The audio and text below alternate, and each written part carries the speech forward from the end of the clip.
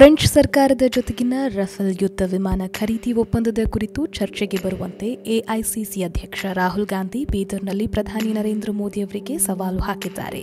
ಹಾವೇರಿಯಲ್ಲಿ ರಾಹುಲ್ ಗಾಂಧಿ ಅವರ ಸವಾಲಿಗೆ ತಿರುಗೇಟು ಕೊಟ್ಟಿರುವ ಕರ್ನಾಟಕ ಬಿಜೆಪಿ ಅಧ್ಯಕ್ಷ ಬಿಎಸ್ ಯಡಿಯೂರಪ್ಪ ಪ್ರಧಾನಿ ಮೋದಿ ಅವರಿಗೆ ಆಹ್ವಾನ ನೀಡಲು ಮೊದಲು ನಿಮ್ಮ ಪಕ್ಷದ ಗತಿ ಏನಾಗಿದೆ ಅನ್ನೋದನ್ನ ನೋಡ್ಕೊಳ್ಳಿ ಅಂತ ಟೀಕಿಸಿದ್ದಾರೆ ಜೆಡಿಎಸ್ ಅಧ್ಯಕ್ಷ ದೇವೇಗೌಡರೇ ಕಾಂಗ್ರೆಸ್ ಅಸ್ತಿತ್ವ ಕಳೆದುಕೊಳ್ತದೆ ಅಂತ ಹೇಳಿದ್ದಾರೆ. ನರೇಂದ್ರ ಮೋದಿ ಅವರು ಮತ್ತೊಮ್ಮೆ ಪ್ರಧಾನಿಯಾಗುವುದನ್ನು ತಪ್ಪಿಸಲು ಯಾರಿಂದಲೂ ಸಾಧ್ಯವಿಲ್ಲ ಅಂತ ಹೇಳಿದ್ರು. ಭಾರತ ಸದ್ಯ ಪ್ರಪಂಚದ ಆರ್ಥಿಕತೆಯಲ್ಲಿ ಆರನೇ ಸ್ಥಾನದಲ್ಲಿದೆ. ಕೆಲವೇ ದಿನಗಳಲ್ಲಿ ಮೂರನೇ ಸ್ಥಾನಕ್ಕೆ ಬರುತ್ತೆ. ಮೋದಿ ಅವರ ನಾಯಕತ್ವದಲ್ಲಿ ದೇಶ ಅಭಿವೃದ್ಧಿ ಆಗ್ತದೆ. ಅವರಿಗೆ ಸವಾಲು ಹಾಕೋ ಮುನ್ನ ನಿಮ್ಮ ಪಕ್ಷದ ಸ್ಥಿತಿ ನೋಡ್ಕೊಳ್ಳಿ ಅಂತ ಲೇಫ್ರಿ ಮಾಡಿದ್ರು. ಕಳೆದ ಮೂರು ತಿಂಗಳಿನಿಂದ ರಾಜ್ಯ ಸರ್ಕಾರ ಬದುಕಿದ್ಯಾ? ರಾಜ್ಯದಲ್ಲಿ ಅಭಿವೃದ್ಧಿ ಕುಂಠಿತವಾಗಿದ್ಯಾ? ಭ್ರಷ್ಟಾಚಾರ ಹೆಚ್ಚಾಗಿದೆ. ಸರ್ಕಾರ ವರ್ಗಾವಣೆ ದಂಧೆ ನಡೆಸುತ್ತದೆ. ರೈತರ ಜಮೀನಿಗೆ ಹೋಗಿ ನಾಟಿ ಮಾಡೋದಲ್ಲ, ಬೀದರ್ ಸೇರಿದಂತೆ ಇತರ ಜಿಲ್ಲೆಗಳ ರೈತರ ಸ್ಥಿತಿಯನ್ನ ನೋಡಿ ಅಂತ ಮುಖ್ಯಮಂತ್ರಿಗಳನ್ನ ಆಗ್ರಹಿಸಿದ್ರು.